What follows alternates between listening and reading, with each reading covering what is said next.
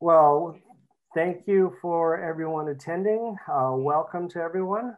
Uh, today we have a treat that we are, we have Andy Starnes of Insight Training uh, giving us a, uh, a, webinar talking about um, the cutting edge of light in firefighting.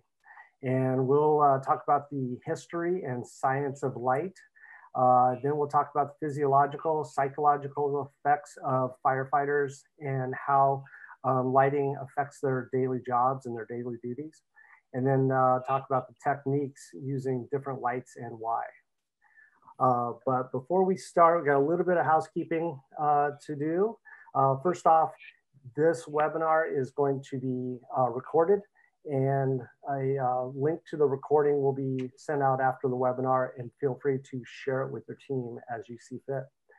Um, if you have questions today, uh, go ahead and put them into the chat room, uh, the chat box, and we will uh, answer those in the middle. We'll have a little break Q&A, and then at the end, we'll have a Q&A as well.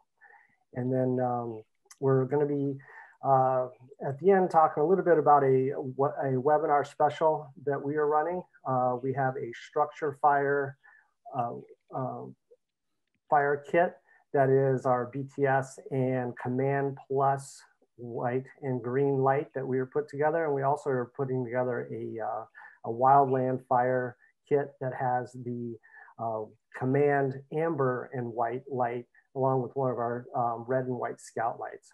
So um, the other, the last thing about this is we will also be having two more webinars with Andy Starnes here in the next uh, few weeks. So um, after this, we will uh, send out a link to those and where we'll talk a little bit about um, different applications of context and how lighting is used in different contexts and different roles with different firefighters. So um, to introduce ourselves, I didn't get that to the beginning. Uh, I am Chris Giles of FoxFury Lighting, and I do uh, photography and video and uh, marketing uh, applications. And but more importantly, the expert in the room here is Andy Starnes. And if you don't already know Andy Starnes, he is a 25 year old year firefighter in EMS. Uh, he's a battalion chief in Charlotte, North Carolina, level two uh, thermography certified instructor. Uh, his company is Insight Fire Training, and they focus mainly on uh, thermal imaging cameras.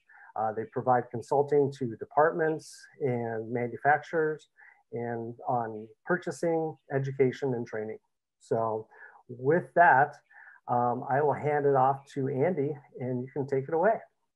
Thank you, Chris, and thank you for having me and allowing me to share uh, with you guys. I greatly appreciate the opportunity and I greatly appreciate support from FoxFury. If you don't know, FoxFury has been a longtime supporter of Insight, and I was a fan of them long before they became a sponsor. I actually had a few of their products and was one of the reasons I reached out to them because I believed in the product prior to uh, that and found out there was even more wonderful people behind the product. So thank you so much.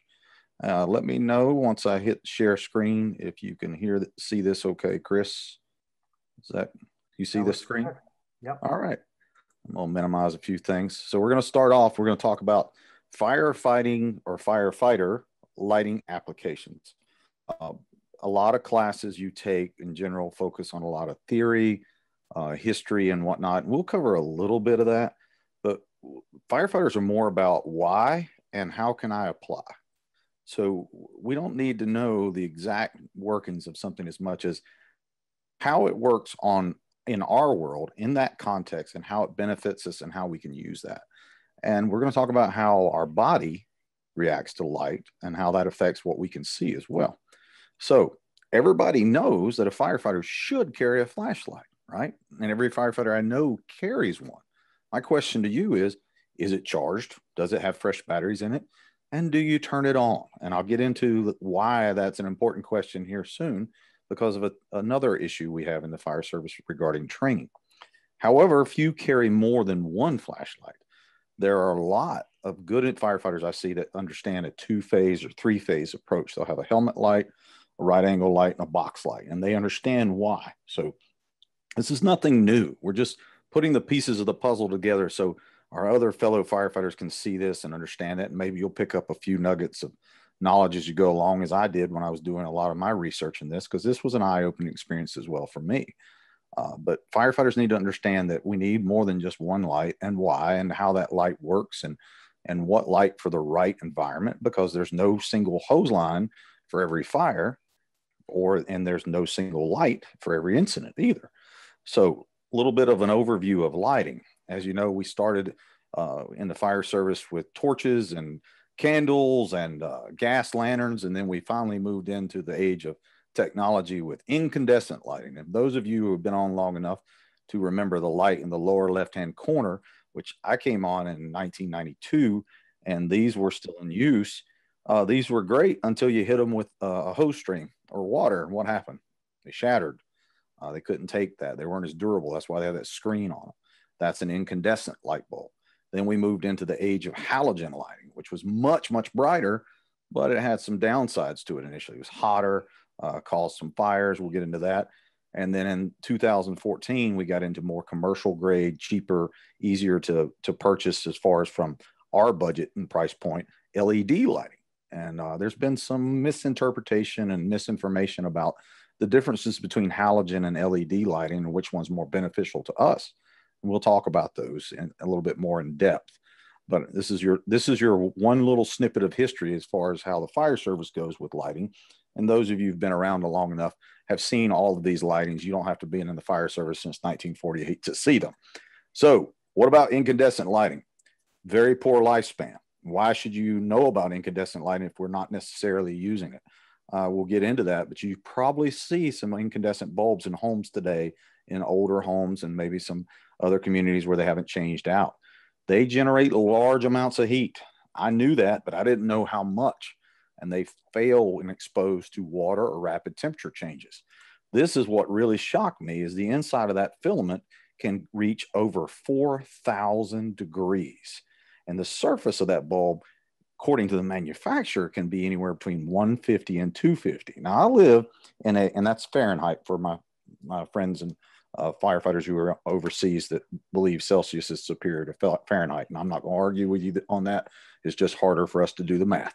Uh, but if you look at incandescent bulbs in my 1950s house, I left one on in the closet by mistake one time, came home and was just playing around with the thermal imaging cameras I have and got it out. And it was reading between 400 and 600 degrees inside of that closet after 2400 or 24 degree, 24 hours. That's a lot of heat. It could cause a fire. And remember this, the melting temperature of steel is 2750, 2750 degrees Fahrenheit. So the inside of that bulb is way hotter than that. So that's that's something to consider in, in the generation of heat. And when you're going in and looking for an odor of electrical or a problem in a house, we shouldn't be using incandescent bulbs in the fire service, but something for you to remember. Now, however, halogen lighting is used today and it's used a lot. It's used in all kind of things from residential to commercial to our world. It's still used in certain cars and other things. Uh, as you can see in this picture here, the fire actually was caused by an overheated halogen lamp. And if you've had to go investigate a odor of electrical before, something burning, you've probably noticed that a halogen lamp generates tremendous amounts of heat. Those of us who had to work in the office environment or underneath a light for some period of time have found that these halogen lights can create an uncomfortable work environment because of the heat. Now, the positive side of them, they were extremely brighter, tremendous lumen ratings, which is how we rate the brightness of that bulb. But it had a tungsten filament sealed inside of it with what's supposedly an inert gas, you know, something that's supposedly not flammable, but it generated massive amounts of heat. How much heat?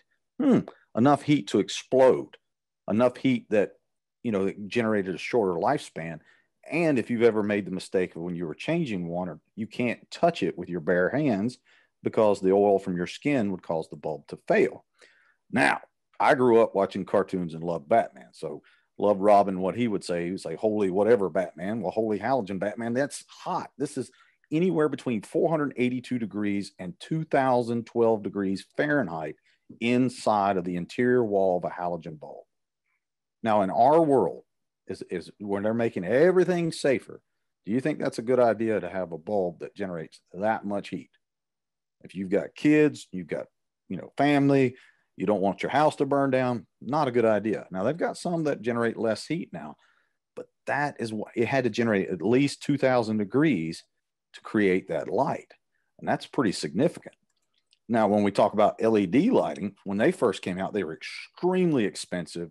They, they didn't generate as much light as, as the others as halogen did, but now they're way more efficient, vastly superior to halogen bulbs, lasting 10 times longer and consuming 85% less electricity. Now, let's think about this for a minute. How many of you uh, love to save money?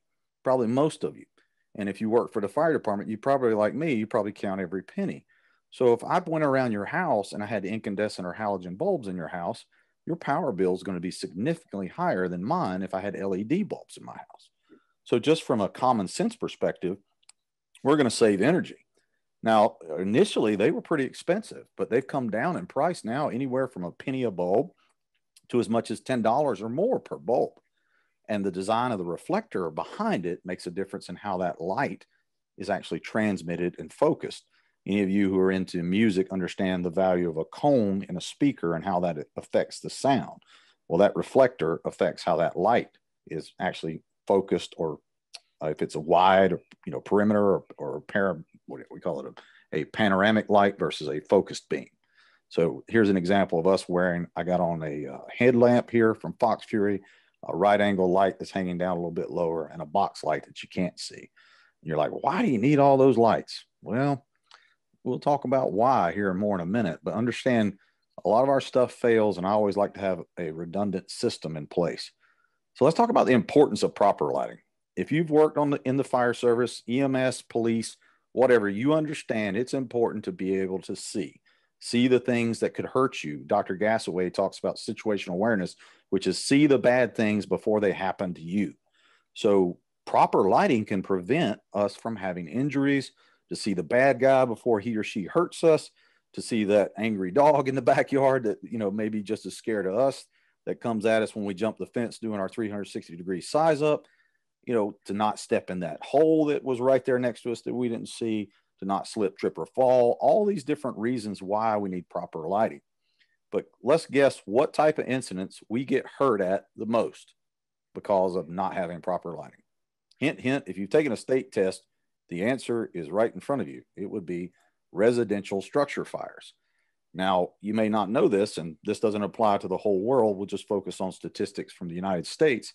But approximately 60,000 firefighters got hurt in 2018. That's a lot of injuries.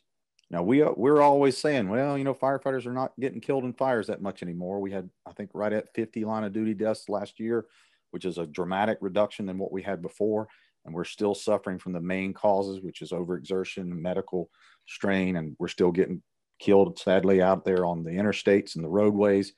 But you need to understand that injury wise, we are more than likely to get hurt on the fire ground than anywhere else.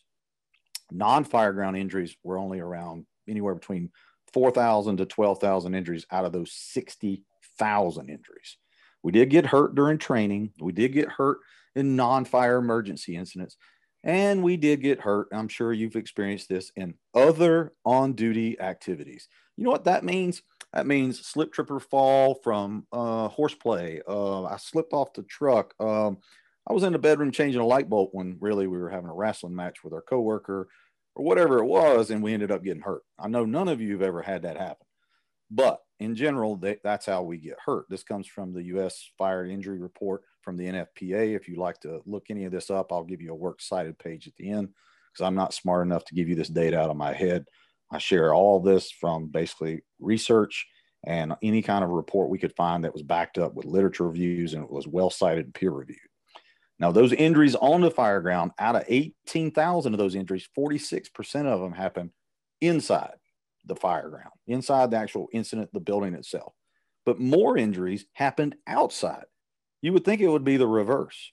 I think just me personally, when I'm inside the fire, my guard is up, I'm focused, I'm trying to look for things that can hurt me. And when we're outside, we get a little bit more complacent. And at night, we can't see as well. And if we don't have proper lighting, we could slip, trip, or fall, step on a power line, or God knows what. So it's really important from if we look at this comprehensively, we have proper lighting in each role, each context from outside the incident, from the driver, the incident commander, to the firefighter, to the EMS professional, to the police officer. Everybody needs to be able to see. And if you if you're like me and you're 45 years old and learning about the value of, hey, my eyesight's not what it used to be, you know, being able to see is pretty darn important. So let's make sure we can see clearly and fulfill the mission.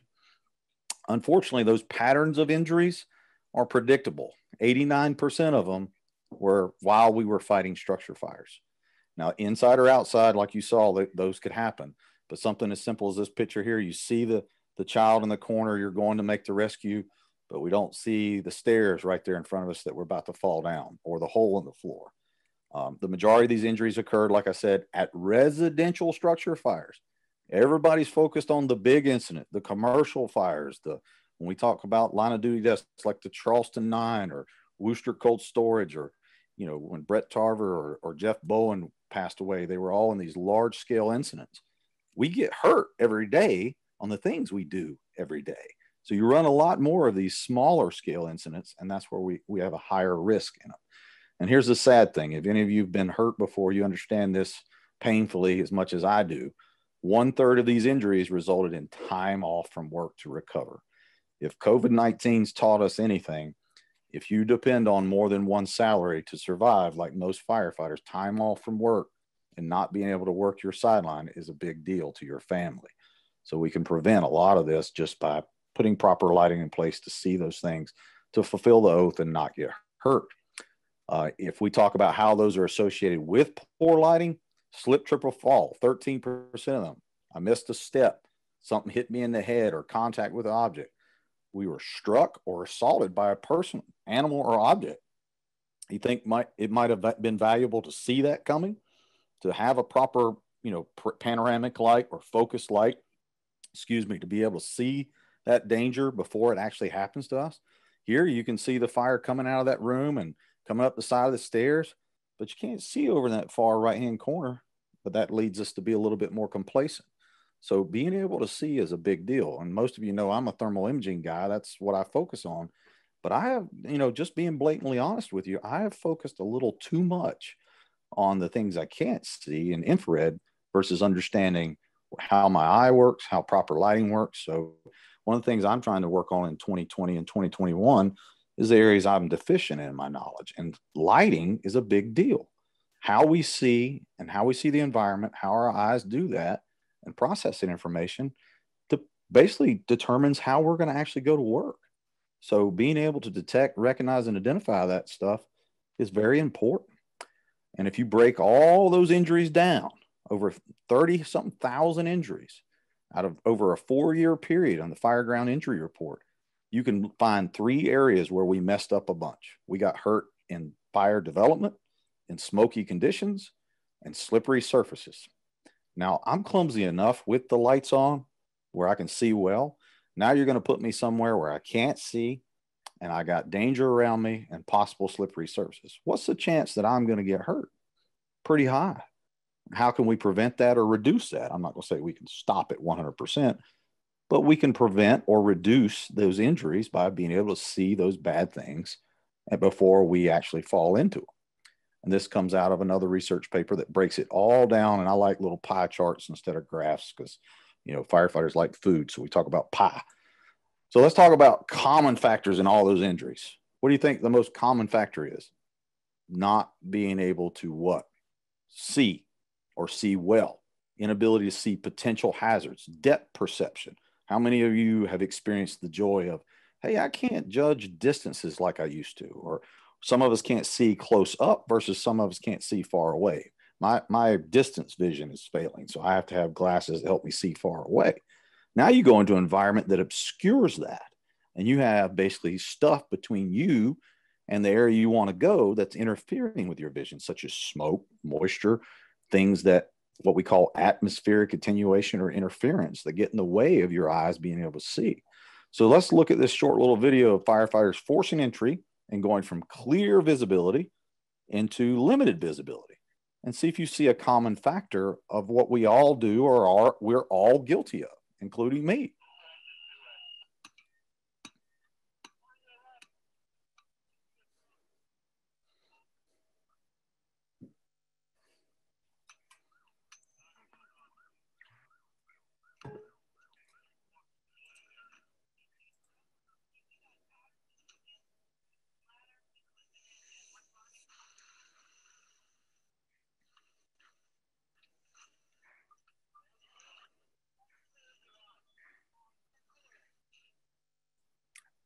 How many picked up on that when we first went in, our flashlights weren't on?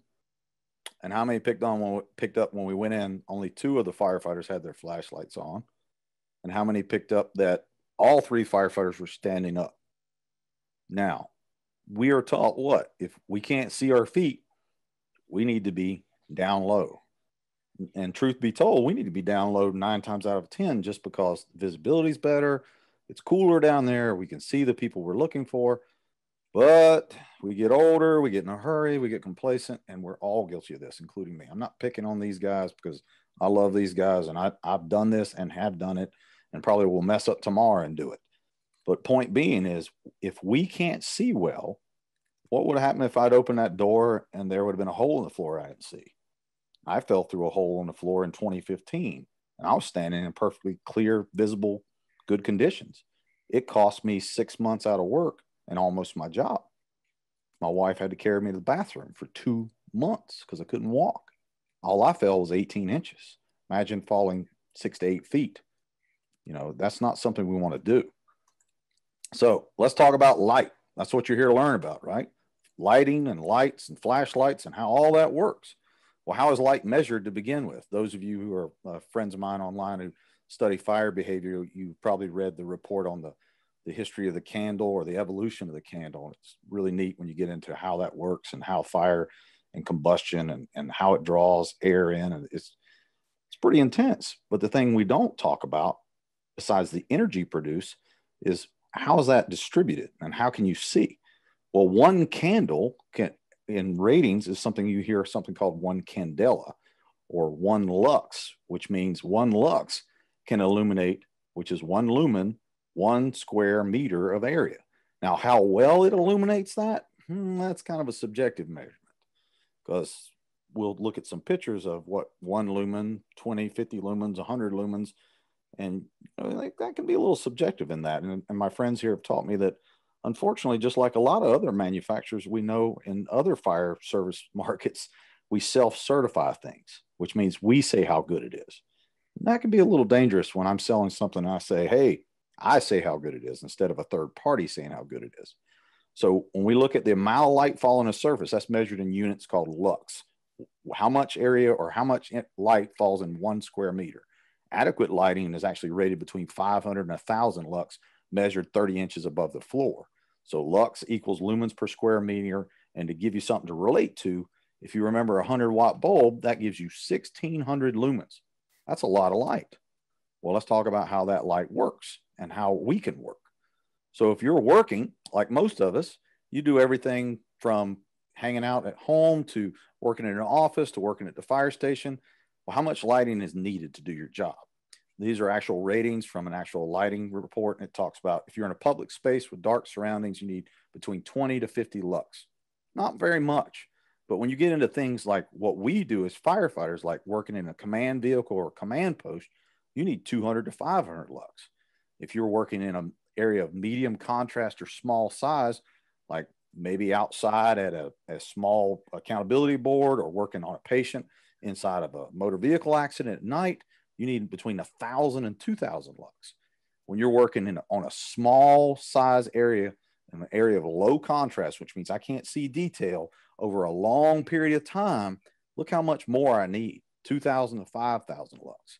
And if I'm in very prolonged and exacting visual task like a surgeon, we need lots and lots of light between 5,000 and 10,000 lux. And a lot of people are going, well, what does that mean? Well, let's let's look at that. 50 lux means I can see three square feet or 50 lumens. So when you look at your flashlights and all the things you buy, this gives you an experientially relevant example. When we talk about performance of a visual task like a medium, small, medium or small size task, like rescuing a victim in low visibility, that means 100 to 200 lumens. Now you're starting to say, okay, I bought XYZ flashlight and it says it got up to this many lumens. Now we're starting to get where we can put these pieces in our puzzle together and say, all right, I need this much light to be able to see. Now, granted, 100 to 200 lumens is rated in a perfect environment with not smoke and not a lot of things between you and the target. So think about that rating when we move through this stuff. And this picture I've got for you here, something I do in my thermal imaging classes, this is a set of stairs in zero visibility. Even with flashlights, the firefighters miss these stairs. Is that acceptable to you? You want to guess why we missed the stairs? We're standing up and we're not doing what we're supposed to, which is staying down, sweeping with our feet and our, and our arms and using that light to stay low. So even if you have a poor flashlight, you might be able to see better than no flashlight or a flashlight and standing up. Because when you stand up, you're in faster moving smoke, more heat, more moisture, and lots of things to obscure your vision.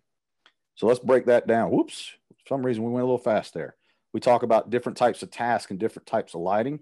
Our friends here who have probably been experiencing such things as USAR deployments or extended operational incidents longer than 12 hours, large fire incidents, multiple alarms, uh, extended things like hazmat scenes. You would need lots of light because you don't know how long you're going to be there and you're going to need light for various things light for work, light for reading, light for walking between command posts and another tent or restroom or the food area or the rehab area or to the hot, warm, and cold zone. All those needed need to be lit up appropriately. That's where we need a lot of light, a lot of different types of lights.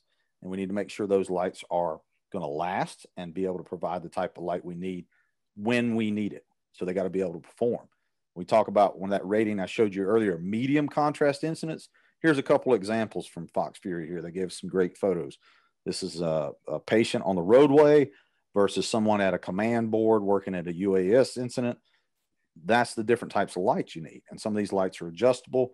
You have them where they can actually deflect off of things. You can pan the light down or up. And that's important because a lot of times you can actually have too much light for different types of incidents because I've heard this more often than not from firefighters. That light's too darn bright. Well, why is it too bright? Well, because I'm looking right at it. Well, maybe we shouldn't be looking right at it. Maybe we should change the angle. So here's a couple examples for you. You also could consider an engineer or driver at a pump panel or operating a motor vehicle accident where you're extricating a patient or doing patient care. That's what's considered a medium contrast incident. We can still see, can't see perfectly well, but we can see well enough to do our job. Low contrast incidents, these can be bad deals. It's like confined space, crawling down a dark, smoky hallway. Uh, this is a picture from uh, from CMC Rescue where they're working in a confined space incident. Obviously, this is well lit because this is actual training incident. But if you're going underground in a manhole cover or into a, you know, a trench or something like that, you may not have that benefit. So you're going to be working in very, very poor conditions, and you're going to need extremely bright light focused on the area you're working so you can see. So those are some examples of that. Now, here's something that a lot of us don't think about. All we think about is the light bright enough or is it too bright and is it going to hold up? There's a lot of other things that come into play when we talk about the human body and us. Glare is an issue something how bright something is can actually interfere with how we see the object if you've ever had the misfortune of someone shining a bright light in your face or going from a dark room and stepping outside in the beautiful sunshiny day you've experienced something known as a startle effect or disability glare so that glare affects you for a few seconds few moments or longer depending on your eyesight and the condition that ad- adaptation from going from one room to another or one area uh, area of light to another area of light can take a while for our eye to adapt from constricted to dilated or vice versa. It can cause annoyance and discomfort and can also cause you to not be able to see well. For example, there's a person standing at the top of the stairs here. Can you see the person? No, but you can see the light. But when we talk about light in general, we don't even think about stuff like this. This interesting factoid because I'll bet you this little fact will convict most of you because it convicted me. How many times have you walked through the fire station, whether in the day room when they got the lights off and they're watching TV, or they're laying in their cubicle getting ready to go to bed, and you see that soft glow or bright glow of the not so smartphone? Why do I say not so smartphone? Because if we look at that long enough, one, it can disrupt our sleep, which is not good. Two, if we look at it incorrectly, laying in there in very dark conditions, half of our face covered up because we're tired looking at it, we can actually experience something called transient smartphone blindness or dark adaptation. So you can get up out of the bed, put the phone down, and all of a sudden be blind for up to 15 minutes. This has occurred to numerous people across the world. This is just caused by using your smartphone, covering up one eye like you're laying on a pillow and looking at the phone at night. And you're like, well, what does that got to do with me? what if you're the driver of my fire engine or my fire ladder truck that night, or you're driving the ambulance that night? Do you think that's going to affect you when you get up out of the bed for a call? Or you get up out of that day room when you've been sitting in the dark? So just think about how your eye works, and we're going to get into that more. I love this little cartoon where it shows the moth talking to the ambulance driver. He says, Personally, I was drawn to it. I did a lot of reading on emergency lighting and can a light be too bright? And if you look into some of these uh, reports we have at the end, you'll find that some of the LED lights, when they first came out, were anywhere between five to 20 times exponentially brighter than they needed to be. And that was at night. Daytime, not so much, but at nighttime, it actually had a negative effect. It actually drawed impaired drivers to the light, causing accidents, or it caused the actual drivers going by not be able to see for a brief moment, and then they ended up hitting something. So there is a downside to emergency vehicle lighting being too bright. And some states now have laws on day and night modes on how those lights actually function. Uh, they have different uh, strobe ratings and flashes per minute. And there's a lot of research about how those can cause seizures and seizure like activity in people who are sensitive to that. And I have the reports at the end of this if you'd like to go deeper in the weeds on that. But for us, what you need to understand is the same light that draws an impaired driver or sleepy driver towards a motor vehicle accident where we have two ladder trucks, an extrication squad, an ambulance, and a police officer, and they're drawn towards the light and they crash into it, is the same effect that can draw an impaired person who is under the effects of carbon monoxide and hydrogen cyanide who's wanting to get out of there, but they can't get out. And all of a sudden, this bright light comes towards them and they're drawn toward. It. It's called a phototaxis effect. It happens in animals and people. So when I hear firefighters say, that light's too bright, you can't have too bright of a flashlight in a smoke filled environment. You can have too light, too bright of a flashlight in other incidents like EMS, motor vehicle accidents, and other contexts. But when you're in an environment where you're constantly fighting to be able to see and work because of the environment, you need more light from focus to panoramic views and high, medium, and low. So think about that when you're looking for someone, the brighter light, and the further it goes, the more chances they're going to see that light. And they're going to turn their face towards that light, raise their hands up, and that startle effect be able for you to find them. So be the light in the darkness that they're drawn to is my challenge to you. Don't get caught up in. Well, man, you know, my senior firefighter said that light's too bright. I'm not going to put that on there. No, you you need to have a light that is very very bright and adjustable, but you also need to have lights that do different things. But when we're in an environment where they they think we're coming, they can't see us either. So don't think that your gear that's got all those reflective striping is going to stand out in zero visibility. You need all the light you can so you can be the light they're drawn to. So let's talk about how your eye works in all this madness. Here's the cool things I learned about the human body. Whether you're a, a evolutionist or a creation guy like me, you'll understand that your eye has two types, or really, really three types of vision, but two main ones we're going to talk about photopic vision and scotopic vision. Well, what is that and why should I care? I'm a firefighter, I'm coming to work. Well, here's why you should care because under well lit conditions, your eyes are using what's called photopic vision.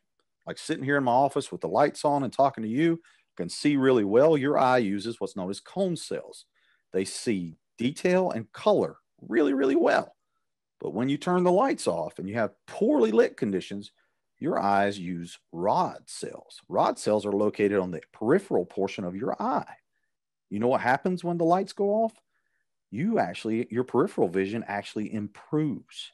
Now, you don't see color well, but it's one of those things like, oh, why does my peripheral vision improve in the dark? So you don't get eaten or attacked by the bad guy because you can see those things coming from your right or left. They're more sensitive also to movement. See where I'm going with this? So in the dark, our eyes are already trying to see right or left of us better and pick up on slight movement. If you ever watched a police officer do a, uh, a little follow my flashlight test, that's something they do with a, a trick with your eyes to see if the outside edges of your eyes twitch. And if they twitch too much, they can tell you have you've been impaired. So the same effect is what we're looking for. Our the rods are more sensitive to movement, so we can see things that are on the right or left of us in the dark a little bit better. So here's two examples from FoxFury they've given us here in photopic or excuse me, scotopic or poorly lit conditions. We have a person standing at the top of the stairs where we're shining the light on them. You'll notice you see more of a silhouette effect. You have a focused beam that starts to break apart and starts to scatter as it gets closer to the target. And then when we get closer to that individual, you can see them better. So the distance does make a difference, but the overall darkness or absence of light in that environment is what affects our eyes. Now, I want you to watch this quick little video when we're looking towards one of my firefighters and there's a light in front of him that outlines him. Notice when the light goes away and when the light comes back, and tell me do you see any color? Do you see any detail of the firefighter, or do you just see a shadow and the outline of a silhouette saying that is a firefighter? You don't know who it is, but you know it's a firefighter. Why is that important?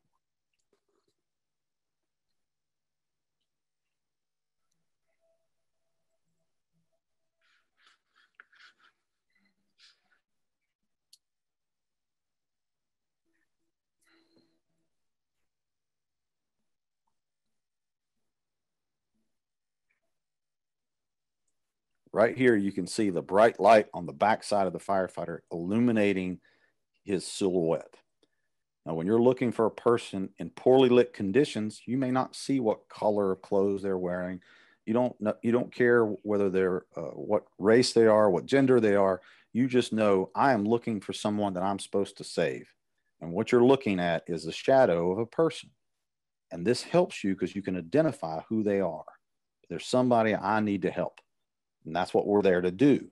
But when we understand how light works and more importantly, how our eye works, we're not going to see color very well. We're not going to see detail very well, but we can see things like, as I told you a little bit ago, movement. And we can see the outside edges of this picture a lot better than we thought we could because our peripheral vision has increased. So in these poorly lit conditions, our eyes are already doing something for us. So, why is this important to you? Because when you transition from one environment to another, that effect on your eyes can mess you up or mess me up or mess us all up. So, let's think about going from a dark bedroom to a brightly lit fire truck to a dark outside to uh, lights as we go in the door to darkness inside of a smoke filled environment. Each time our eyes have to adjust and have to adjust. And there's a period between that adjustment where we can and have missed things like the victim, like the fire, like I dropped something or I missed the door that to the room I needed to search. So when we transition from these poorly lit conditions to bright conditions, we have to watch out on how that affects our eyes. In poorly lit conditions, obviously our peripheral vision improves, but our distance and detail diminishes. So we need what's called a minimum of a two-phased approach to lighting. Okay, and we're going to talk about what that is. A two-phased approach is we have a peripheral light or panoramic light. You can do that with a headlamp where it makes more of a 180 degree light in front of you. And then you have a focused or a distance light, like a right angle light that reaches out and sees the target far off. We use that to highlight things. So this, this short little video, you can see the two differences of a headlamp that's producing a peripheral effect, which has got a glow around us, giving us about a three foot, two and a half foot light of where I'm at and wherever my head goes, the light goes. That's why I love headlights. And then the, the focus light or distance light is my right angle light. As you see, as we scan around with our headlamp, I can see directly in front of me. I can see my friend John Dixon, or excuse me, John Davis, who's wearing the Euro helmet. Don't pick on him for that. And then you can see the focus light of the right angle light and how that transitions from a bright fire room where it's not so bright to when we move into a dark room where it's very intense. If you look right here at this image, you can see the power of this light in darkness. Look at how it's lighting up this box or this crib area next to the firefighter. So you have a well lit area because of the right angle light. And then you see the fire around the left hand corner and you see the silhouette or shadow of a firefighter in a not so well lit area. So we're transitioning from one area to the other. So how do we fix that where our eyes are not taking a beating? So we need to be able to detect, recognize, and respond to what we see. So a wide angle light is critical at night because scotopic vision is already, we're already there. We're in poorly lit conditions. Our eyes are changing so we can see that peripheral, but we can't see detail very well. So a soft glow of a panoramic wide angle light is going to help us a lot. Now, a focused distance light will help us to see out where we're going. But we also need to be able to recognize what we saw. Hey, there's something there. What is it? So when you see people say that's a good light, okay, well, how good is it? Well, what do you mean? When I'm looking out there in the distance or looking off to see that, you can detect something's there, possibly, but can you truly tell what it is? Because a good light is going to illuminate it enough for you to actually detect, recognize, and respond to it. So, such as a warning light on the back of your SCBA flashing when you're down, that tells you, hey, that's where that firefighter's at. Or like I have this little red illuminated flashing LED bulb on the back of my FoxFury headlamp that tells my firefighters where I'm at. This comes from the risk reduction for emergency response by the Federal Signal Safety Corporation. So, how does all those things come together? Well, guess what?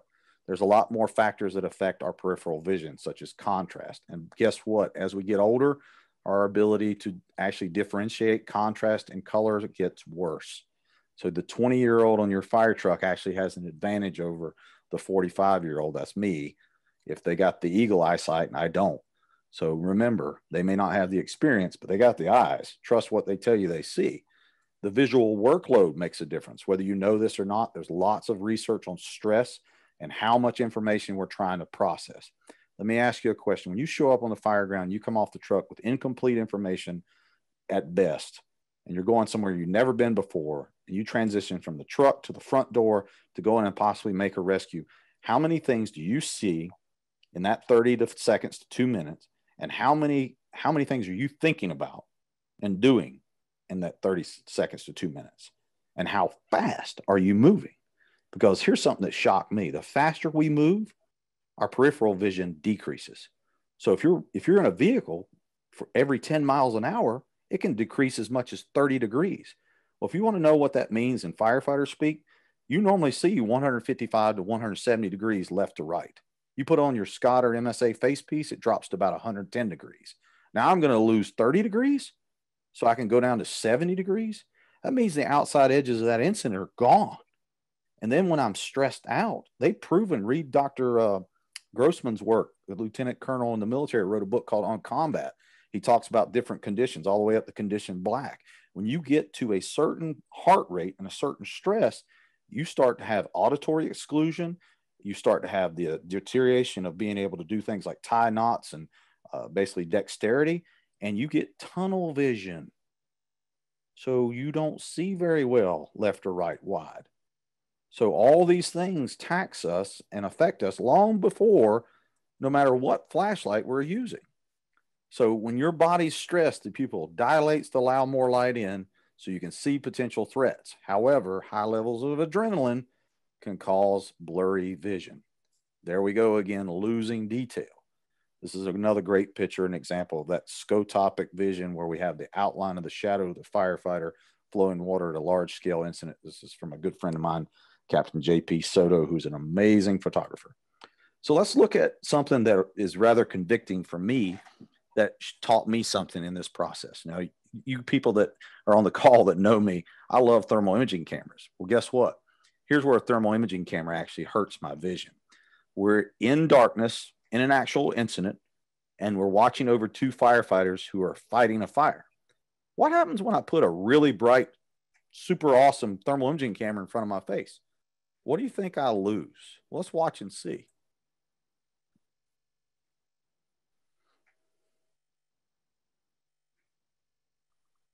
Notice how clear the thermal imaging camera is. You can see a little bit to my right, but does anybody know there's a firefighter immediately to my left?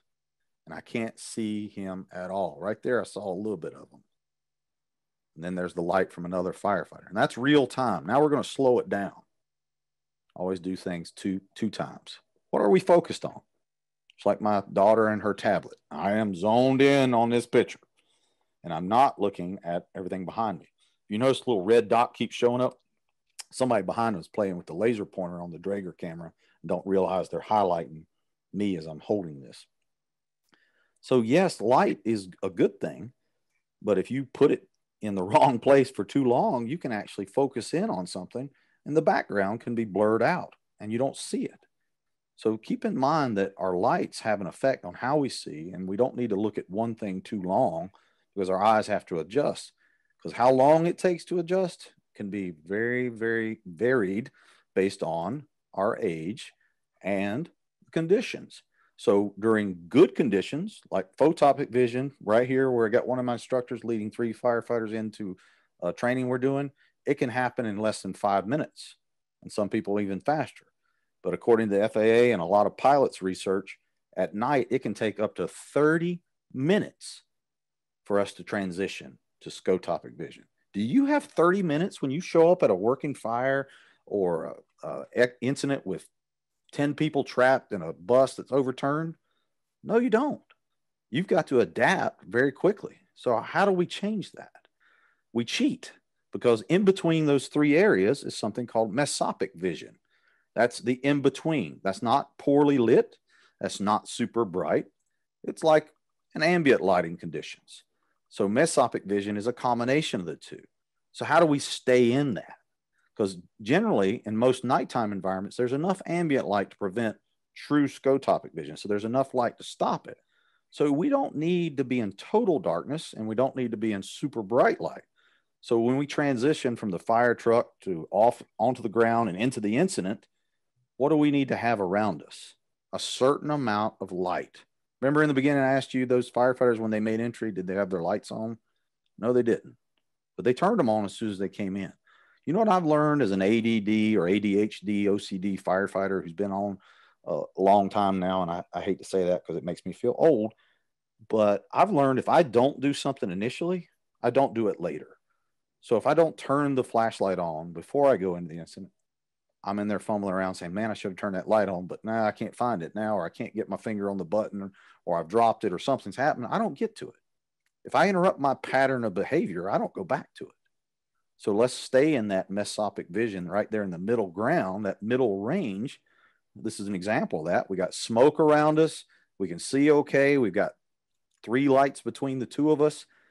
This is called a multi-light approach rather than one single light. And that might be the firefighter behind you illuminating you along with your light, helping you see.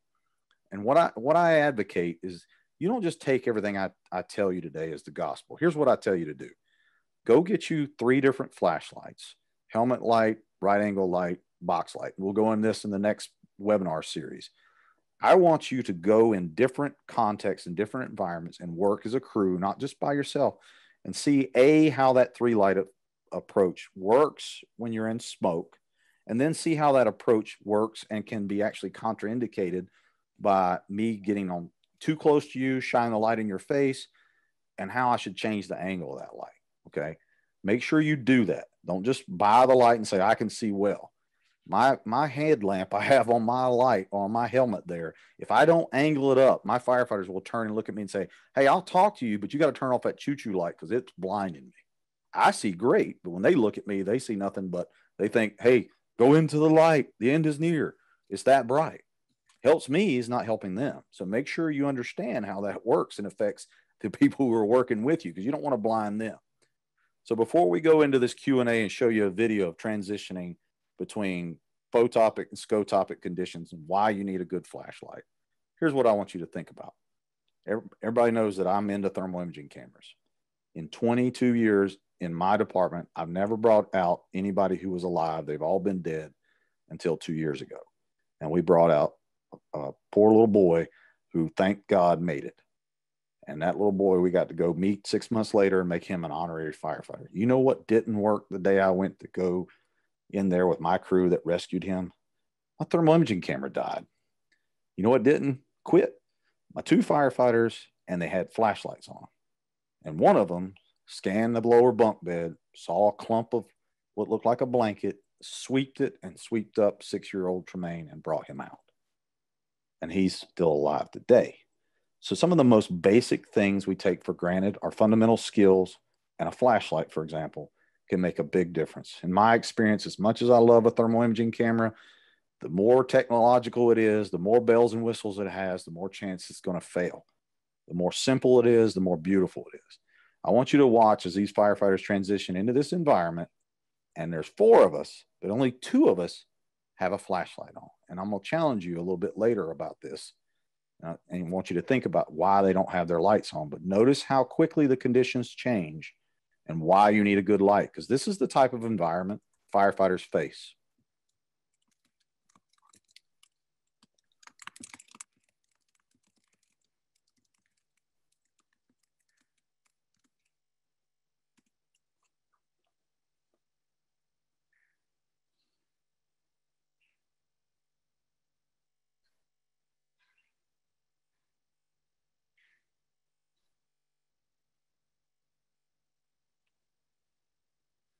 Notice how the conditions changing. You can see his right angle light lighting up the firefighter in front of him.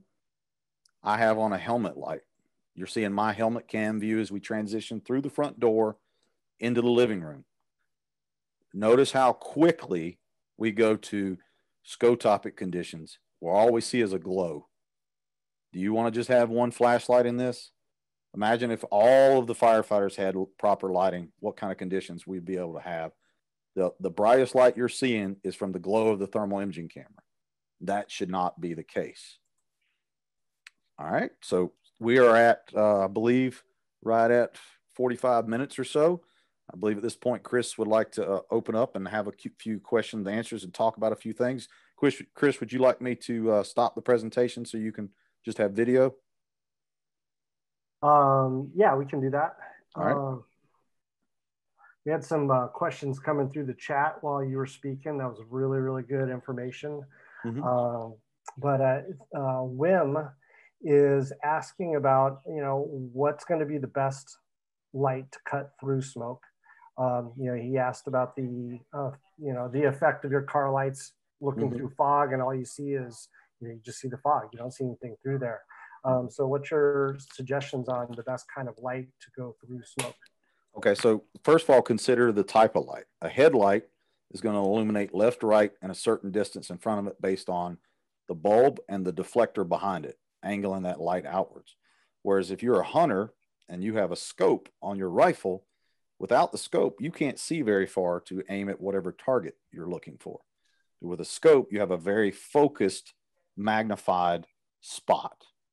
If I want to see far off from where I am, do I need a floodlight or do I need a focused narrow beam light that has a very, very long beam distance in testing and under the criteria? Because that testing is done, correct me if I'm wrong, Chris, in ambient conditions, not in a fire. So if my light says it can see 600 feet or 800 feet, which I'm not going to be in an average 800 foot house, when I go in conditions that are really, really poor, such as a CrossFit gym on fire with tires and mats, you're in the worst kind of smoke you can be in. Therefore, you would want a very tight, very bright right angle light. So high lumen count, upwards of three to 400 lumens. And we'll talk about the differences that here in a minute. And a, a very, very focused beam. And how that affects it is that beam doesn't actually cut through smoke. Okay. Light go, permeates or goes through things based on what's stopping or reflect, reflect, refracting, refracting, reflecting, and absorbing the light. So, what type of smoke is it? Is it wet smoke? Is it nasty, turbulent black smoke? Is it light, hazy smoke? Light, hazy smoke, I might be able to have a long distance beam see a long way. Or if I got tires burning, I can have a NASA space light and not see very far. So, it really depends on the context, but I want something that has a long beam distance and a very tight beam that allows me to see further. Chris, would you like to add anything to that? Uh, no, that sounds that's about perfect. I mean, the only thing that you might talk about too, though, is uh, technique that where you're positioned in the smoke, and that might yes, be another conversation. But you know, I agree. getting low probably helps a lot. Well, and we talked about this in some of our talks before. The biggest problem with flashlight use is not the flashlight; it's the person holding it. Just like I talk about in camera usage. If I stand up in a high heat environment with a thermal imaging camera, it's blowing smoke and moisture on the lens and then it, it accumulates and the camera can't see anything. If I stand up with a super bright, best flashlight I could get into the worst conditions, where if I drop down to one knee or get down and turn that, that light sideways on the floor where the atmosphere is better, I'm going to see things such as, hey, there's the foot of this couch. There's there's four claw feet on that couch there's four uh, legs of a chair, uh, there's four legs of a table. Okay, I'm in a great room. And oh, look, there's a person on the floor. And last time I checked, we don't find victims on the ceiling. They're typically four foot and down unless they're in a bunk bed. So being able to stay low and see in those conditions with a focused beam long distance light, a right angle light, not so much the headlamp or a box light, that's going to make the difference. Just think about this. Which one's going to be able to make a difference in a fight? A pocket knife or a 50 caliber with a sniper rifle? A pocket knife, I got to get close to somebody I don't want to fight. A 50 caliber sniper rifle, I can see the problem way off and take it out. You want something that's going to see that target way, way out and be able to get it. What else you got, sir? Uh, that makes sense. Uh, let's see. Reading the chats here. I think he was asking brands. I'm not going to focus on brands as much as I am criteria. Wim, I want you to think about this. I'm a criteria based person. I'm not a brand based person. So when you go get, I, I would challenge you to read the criteria I'm going to give you at the end of this webinar, then go pick two to three flashlights that say they have those criteria. And then I want you to take it and suggest and, and test it in different environments, fog, smoke. You're talking about a white wall in, in fog. Why are you seeing a white wall? What's in fog? Moisture, lots of moisture. What does moisture do to light? Absorbs it, reflect, ref, refracts that word I keep having trouble with, reflects it, absorbs it. So the different brands will have different beams, distances, and different beam angles. You won't know that until you test it. And I would give you, at the end, I'll give you a comparison of three different lights that can help you out if that makes sense. Okay, he says that's better. Hopefully, I didn't muddy up the water too much. no, I think that was good. Um, I think we're pretty good on the questions. Um, if you want to continue, we can keep rolling along here. Sure. Just let me know if we we missed something or someone. I want to make sure we have time to cover those. Okay. So the three phase approach to lighting helmet light, some type of helmet light in the center, wherever you look, or you could have one of those lights that you see that people clamp on the side. That works as well. Just we'll talk about concerns with both of those and what you need to watch out for. Uh, a right angle light gives you beam distance, as he was asking about, being able to see targets, identify objects, and something that he he illuminated, you pun intended, in his uh, statement. I see nothing but a white wall. Well, if I'm crawling in smoke with that type of light, I can see that white wall moving. And those of you who are on here into fire behavior, that movement can indicate a lot of things that we're going to get into in the part two series of the webinar of reading smoke and how that can help us and tell us where we are, where we need to go, and a lot of other information. A box light, however, typically firefighters have that mounted or strapped to their right or left hand side down low. Can be used for a lot of things. Allows you to find one another, can mark entrances or egresses, and can scan the floor right around me and give me situational awareness of things I may have missed. So here's the thing I wanted to challenge you in the beginning. This is one of our training incidents. And this throws myself under the bus because this is one of my instructors in here as well. Four people go into this burn building. How many flashlights do you see turned on?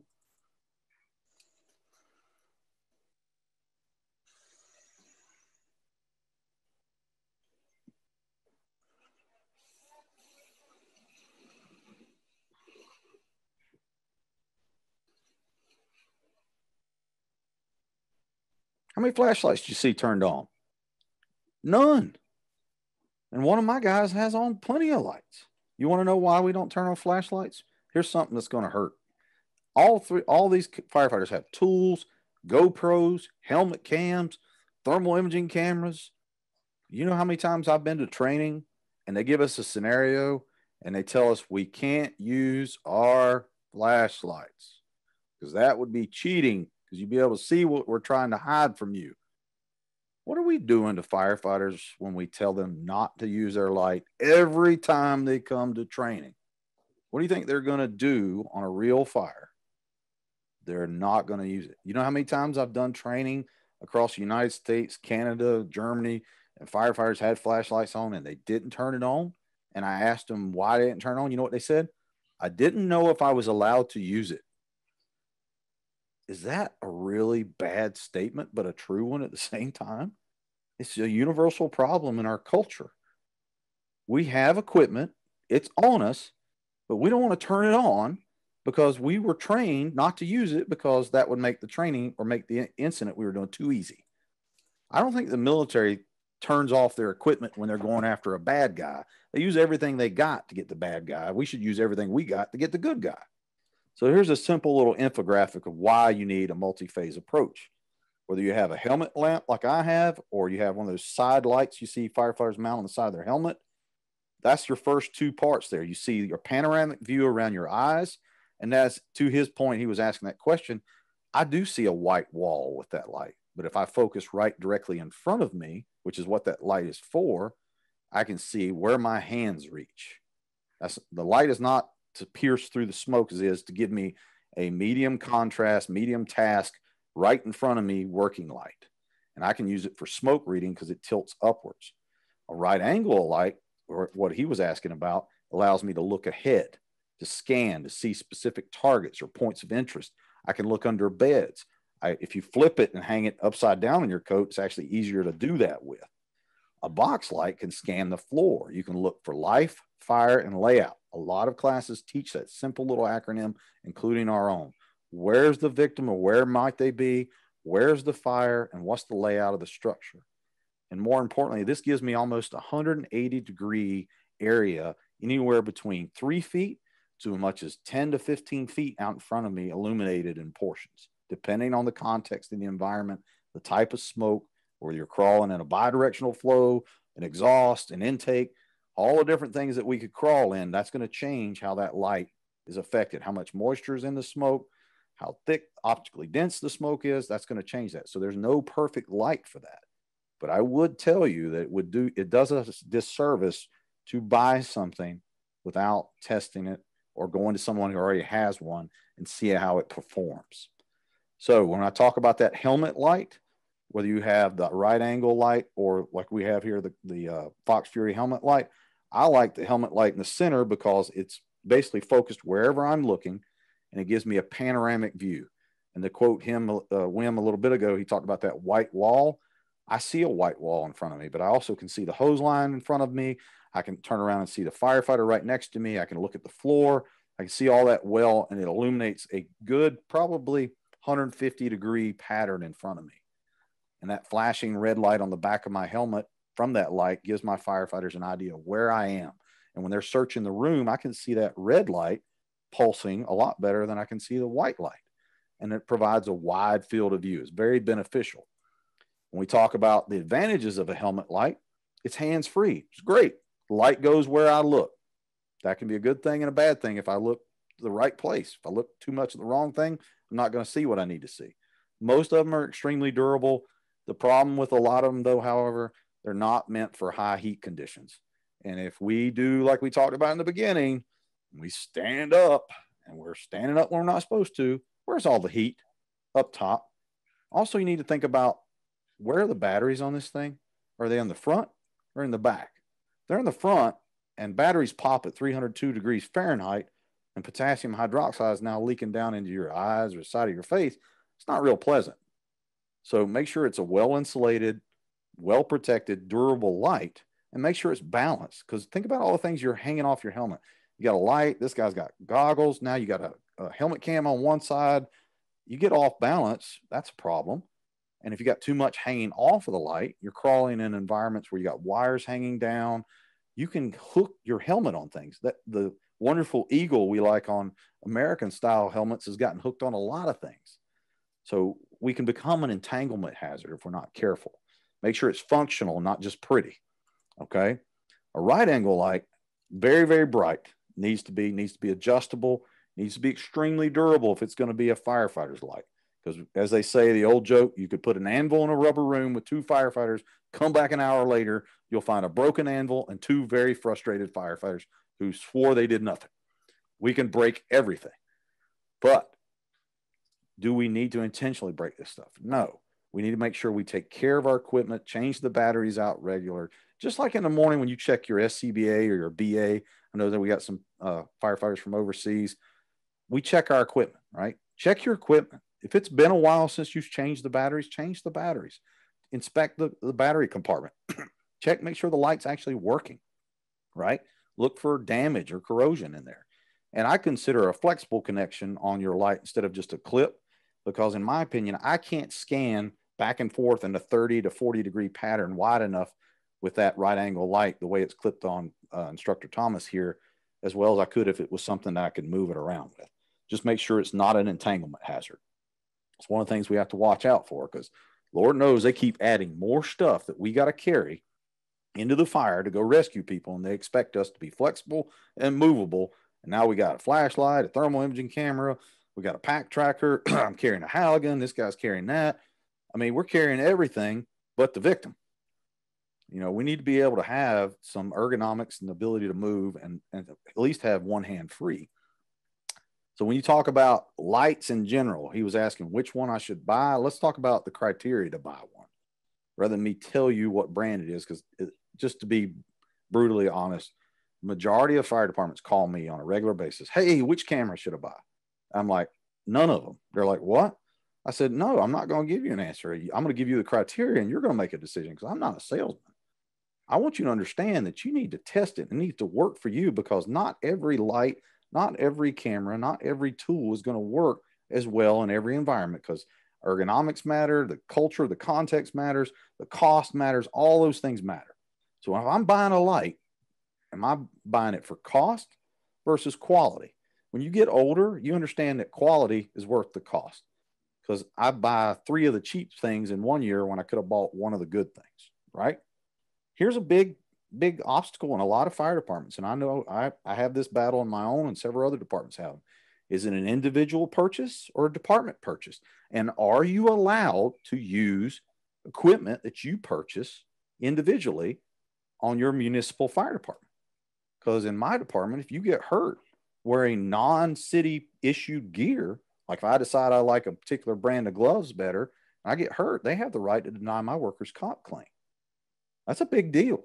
So you better research that before you start stacking all these tools and buying your own helmet and doing all this stuff. Because if I get hurt using something that's not issued by my department and not approved, mm, that may not work out too well for me. So, and how does your role affect the type of lighting? Are you a nozzleman? Are you a truck guy with the Halligan and you're forcing entry? Are you the engineer? Are you the company officer? That determines what type of light you need. Okay. The engineer outside needs a completely different set of lighting and types of lighting than the firefighter on the nozzle or the company officer behind two firefighters running back, moving hose, watching over them needs different types of lighting. And the biggest thing that, that is not considered in all of this when people purchase lights, not so much the firefighter purchase them, but say municipalities when they're purchasing, how heavy is the darn thing? Is it ergonomic, which means do they like the way it feels? Because we're really weird. If we don't like the way it feels, we don't care how good it is. We'll leave it on the fire truck. Don't care how much you tell me I got to carry it. They'll write people up before they carry something they don't like. Is it a peripheral light that gives me good panoramic views left to right? Or is it a distance focused light? Do you know where I work? There's these certain brand of lights I will not name that gets left on the truck more often than not. Why? They don't like them.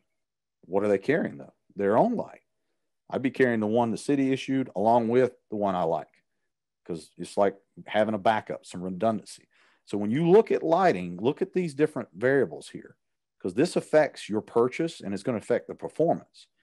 Now, lights are rated differently. And you, if you read the specs on these things, like when I read camera sheets, you'll see something called IP rating. And you'll see stuff that says IP65 up to IP68 or in that range. The first number of that IP means is it protected from solids, dust, intrusion? Six is the maximum. Okay, that's good because you're in a dusty, nasty environment. The second number, however, is probably one of the more important because what environment do we work in? We're there to put out what? The fire. What are we going to use to put it out? Water. Are we going to flow a lot of water? Yes. Is it going to probably get dropped in water? Yes. Does it need to be waterproof? Yes, yes, yes, yes. This, the answer is C. You know, we, we need to be very, very durable and waterproof. So you need something that is water resistance or waterproof. So eight is the maximum. As you can see in this FoxFury picture here, they've submerged it and it's working well. The rating, however, only gives us a partial picture of its durability. You want to look at things like what is it actually made of? Is it waterproof and does it float or does it sink? Why does that matter? Well, when you drop it off the side of Fireboat 38 and it floats, that's a good thing. When it doesn't, I bet you're not going to put the dive gear on and go get it. So make sure you understand those things before you buy it. And how are they rated in overall brightness? This is the fun part. There's something called torch lumens and emitter lumens. And you're like, what is that? Here's what it is torch lumens is actually the practical rating. Emitter lumens is what the manufacturer says the actual of light that comes out of it. Well, actual light that comes out of it's like saying this nozzle flows 180 gallons a minute. Well, does it flow 180 gallons a minute well? And you're like, well, what is it? What do you mean by that? Are you putting that water where it needs to be? Because it, is it a focused or wide angle light? Does it illuminate a wide area or a narrow area? Be careful of words like up to so many lumens because manufacturers self certify that rating, and that rating could be in the first five minutes, could be a few seconds, or few could be a couple hours later. But in general, lumens deteriorate or drop or diminish as battery life fades. You'll see some of them have ratings called moonbeam equivalent, which means, oh, well, this flashlight can stay on for 20 hours in moonbeam mode. Well, moonbeam mode means barely neg- negligible light. So torch lumens is what actually exit the, exits the light and is practical, such as this great little infographic they've given us from FoxFury. See how we're rating the emitted lumens, which are going everywhere, versus the practical lumens, which are going where we need them to, to need them to go. The energy is reflected, absorbed, and lost in the hood and bezel of the lens. But the torch lumen measured from this point outward. It's going towards where I want it to go, focused on that target, focused on that child's hand, focused on, hey, that's a that's a crib in that corner.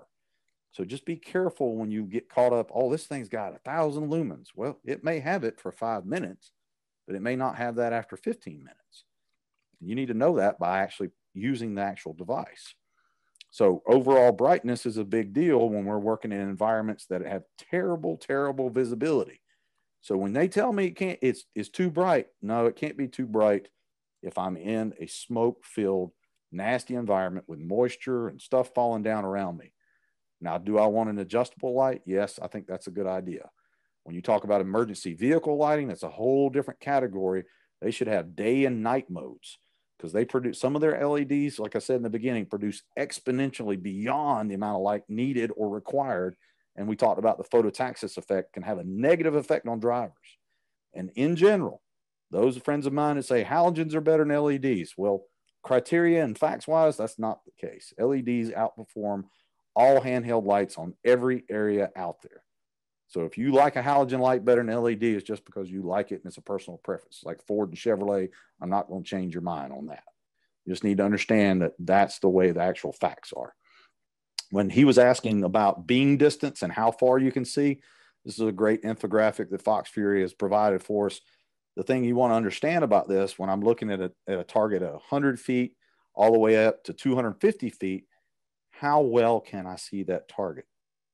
You can see him just outside of that in the 300 feet range. But what you need to understand is this is at night outside. If you're searching for a lost person, that's great. But what about in that house fire? What about in that commercial building incident? What about in a warehouse that's got a sprinkler head activated and you got cotton bales on fire with the worst kind of smoke there is? You don't really have much fire, but you have the worst visibility you've got or can encounter. Your tick doesn't help you much you need a lot of light and you're still only going to see so far. So let's quit blaming the flashlight and start thinking about the context of the environment and how we can apply that appropriately. So here's something that I learned the hard way, and unfortunately, several other firefighters have as well. Don't just shove any old battery into your flashlight. Don't mix brands. Uh, don't mix old and new because what you end up with is corrosion and moisture. And if you, and you can ask the manufacturer right here, if you have corrosion inside the battery compartment, that generally voids the warranty. So, does it do any good to buy something with a lifetime warranty and I do something it says not to do in the instructions and I avoid the warranty? No. I mean, it tells you not to do that. Because you can actually cause them to leak in that case. So use the same brand, use what they recommend, whether it's an industrial grade. Don't use dollar store batteries and expect million dollar results inside of the, the toughest environment you could be in. So make sure you're buying the right stuff for the right product and changing them based on the manufacturer's recommendations. How can you know all this? Here's the hard part.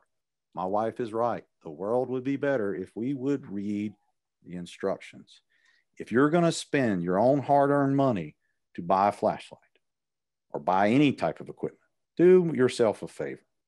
Take 10 minutes, get a cup of coffee or your favorite beverage, read the instructions. I can't tell you how many times I have messed something up, including turnout gear and lots of other things in life because I failed to read the instructions. It's not that hard, but we are we got the world's shortest attention span in history it's 140 characters or less or three seconds on Facebook, and I don't want to read that. We got to dedicate the time. And when we talk about individual types of lighting in the second uh, webinar, we'll talk about role and context based. These are the types of lighting that's being used out there today. You got apparatus mount, apparatus mounting, tripod or portable lights as an example. One of FoxFury's tripod lights that I have. Personal lights, which we hammered on a lot. Helmet lights, right angle lights, box lights all very important. And if you notice, lights are on everything. They're on your SCBAs. You have beacons. You have heads up displays. You have them on everything. Inside the fire truck, you've got warning lights. You've got red red lights or night mode lights. You've got all kinds of flashing visual overload of lights. Just make sure you understand what those lights mean, when you should use them, when you should dim them, and when you should focus them in on certain areas. Okay, because we have a brow light on some of our engine companies when we pull up on a motor vehicle accident and we're far back, you turn that brow light on, it illuminates the scene. Um, it's amazing. You pull up 15 feet from a car wreck and the police officer's are just getting out and you turn that brow light on, they're going to want to fight you because you just blinded everybody. Nobody can see anything and they're wandering out in traffic. They look like they've been hitting the head with a baseball bat. They're like, what happened? I can't see. It's, uh, I believe FoxFury makes a light that's similar to, uh, what do you call those things, Chris? The flashbangs. They throw them in there and it has that startle effect. That's what we've done to them when we turn on a light like that. So make sure you understand what each of these lights are used for and use them in the proper context. Now, when you talk about buying a light, you got to have some non negotiables when you talk about when you're getting a light. Is it fire resistance? Why? Where are we going again? The most unforgiving environment known to man. And I'm not talking about the fire station, I'm talking about inside the fire. The fire station is pretty rough, especially at shift change. But you're talking about the light itself is going into an environment where it could be dropped, it could be kicked, it could be burned, it could be submerged in a pool, it could be forgotten about. And then the next shift, you say, Oh man, I left that tripod light that fired. Captain's going to kill me. And you go out and get it in your own car. Okay. This example here is showing how durable this light is because they set it on fire and it still worked. Is it waterproof? you work in a very wet, nasty environment. Is it going to take an impact? Why? How many times have you been on an incident and you've seen something come out the second floor window, dropped off the truck? They left it on the tailboard, the bumper of the fire truck, my favorite. And they drive off and it drag it down the road or it bounces down the road at 60 miles an hour. All that stuff matters. And if you're an NFPA guy like me, it's got to meet NFPA 1971 8.6, at least the 2013 edition. And is that beam going to be bright enough? Is it going to shine far enough? Is it the proper angle for the environment and the context you're going to use in it? So there's no, hey, one light for everything. There's no pull the pre-connect inch and three quarter fire uh, hose line for every fire. We use the right tool in the right context. So understand like this light here is like a box light. That's what I would use it for. I wouldn't use that for a standard right angle light purpose. Here's some of the definitions you heard so far and all this stuff. We we included some resources for you because I know a lot of firefighters now. This generation, the one thing I love about the, the new generation of firefighters is they don't just take your word for it; they're going to go look it up. Well, here's a couple examples. Here's Candela, how it's rated, and, and Lumen, uh, ingress protection. That's what the IP in the first two letters of that acronym stands for. Uh, you got Lux, we talked about that at the beginning, how it lights up a given area or a square meter. Uh, my friends from overseas would like to hear meter, not foot, right? And then beam distance, basically at a distance of one meter, reading one lux indicates one candela. And we can translate that out. How basically how far a flashlight will throw a beam and how how well is it going to illuminate that? And for those of you who really want to get into comparisons, I took the brand names off of here, so I'm not going to beat anybody up. But I took four different right angle lights that I found on the internet and I just read their criteria, read their instructions. I took their lumen ratings, I took their beam distance, and most of them did not publish the beam angle. So when you were asking which light and why, look at the ratings here.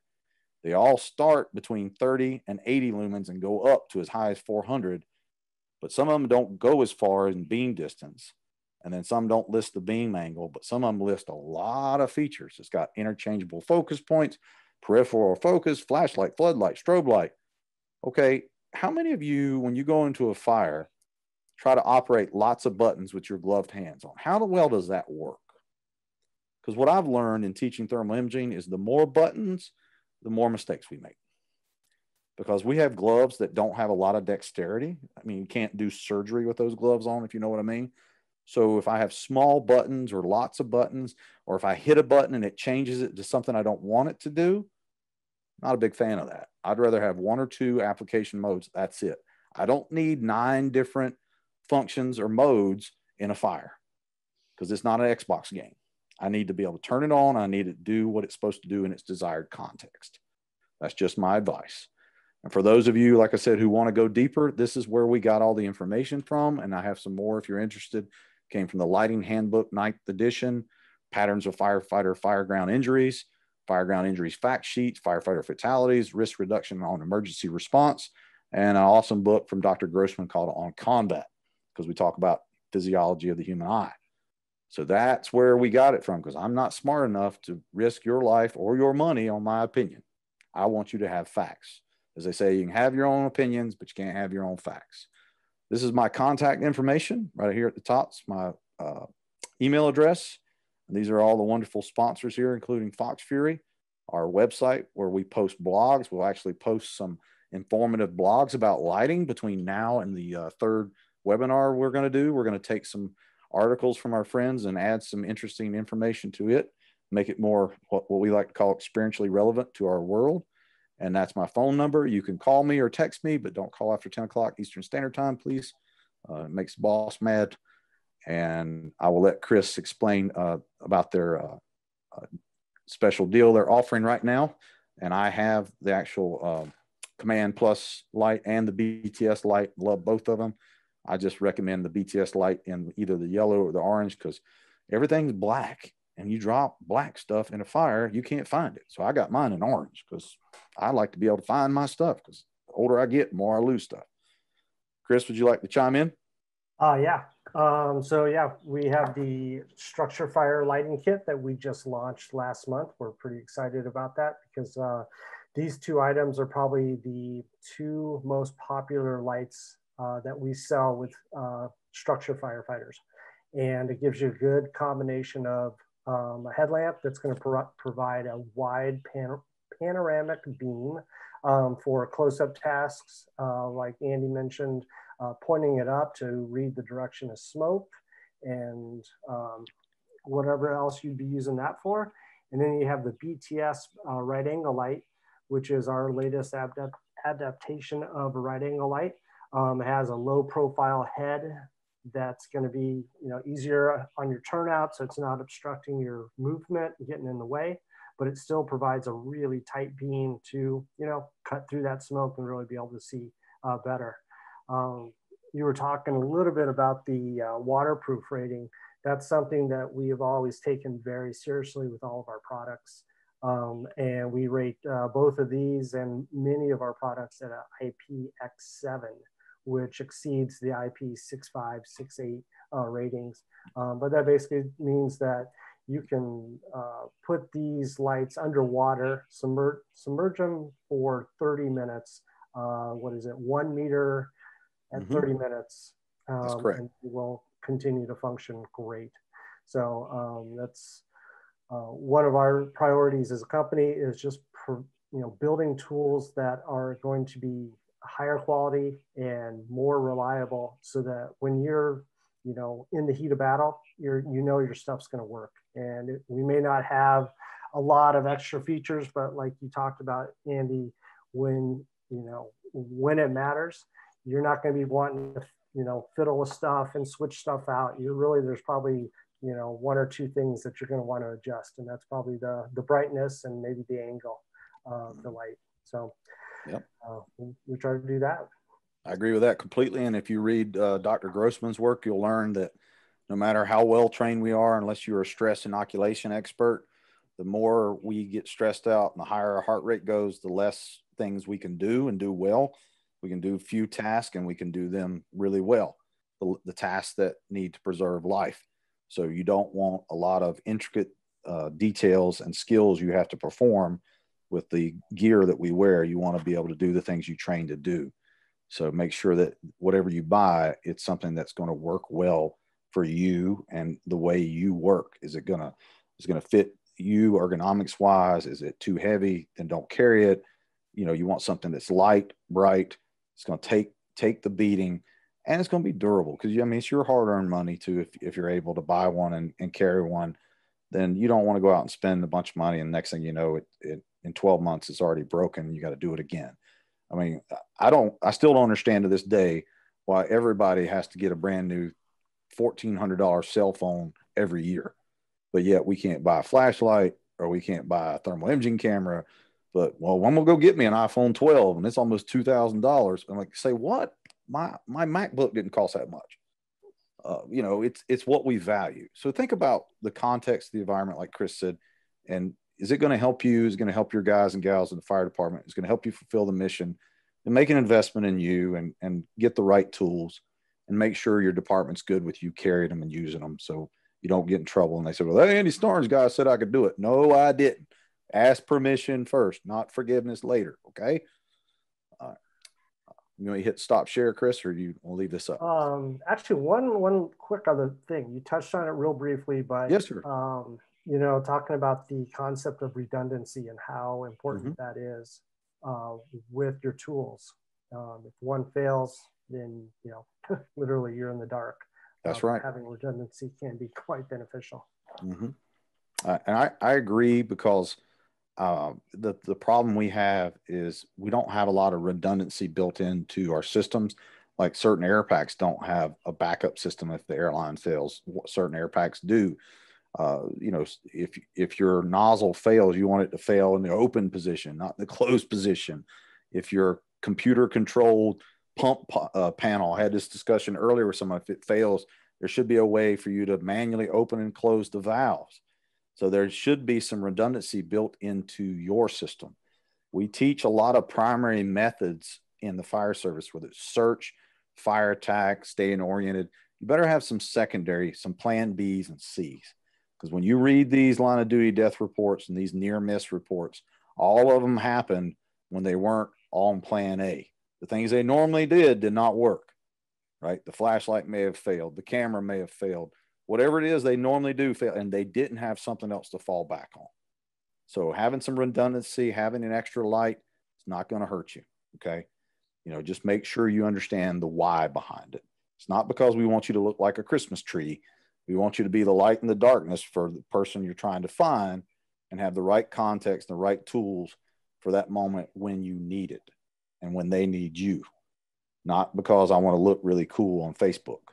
Okay. We're there to make a difference. And that difference takes work, education, and understanding along with that training. Don't just train and do skills, do training, do the skills, and deepen your understanding of it.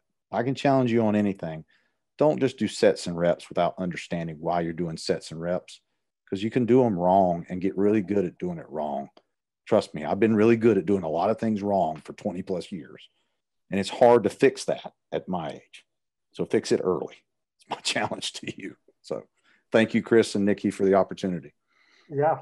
And I uh, just want to remind our viewers that uh, we will be doing a couple more webinars here in the next couple months, um, looking at uh, lighting and context, a little bit more detail of technique of how you would use each ones in uh, actual scenarios and then also talking about um, different roles. So how the guy on the truck is going to use lighting compared to the uh, battalion chief uh, compared to you know someone who's uh, entering the building. So uh, look for those. We'll be sending out a uh, this webinar, a recording of this webinar out an email here in probably the next couple days. And um, then look for invites to the next webinars and you can learn a little bit more from uh, Chief Starnes. Any questions that we missed, Chris or Nikki? Uh, I don't think so. I think we kind of covered everything looking through the chat. So I think that was pretty good. So um, we'd like to thank you for spending your time and um, providing some awesome uh, information on lighting and uh, look forward to the next round. I really do look forward and I thank you for the opportunity. I appreciate y'all's support. And uh, the last thing I challenge you, firefighters and those who are watching it today, you know, we need light for everything we do. Just make sure that when you are shining the light out there, make sure your your behavior is the right light for people to look to. Okay. Because firefighters today, in the world we live in, we need to be a good example. Don't just have the right tools on you, be the right person with the right tools and emulate that for other firefighters to see. Hang around good people like uh, Nikki and Chris and a bunch of people I hang around with and pray that their good behavior rubs off on you because that's what I do. Hope y'all have a great day. Thanks so much for listening to me babble and rant. It's always fun. I always enjoy uh, learning and I hope that you continue learning. And as my friend John said earlier, don't just be aggressive, stay intelligently aggressive. Understand why we need to get in there and how we can do it better. Thanks a lot.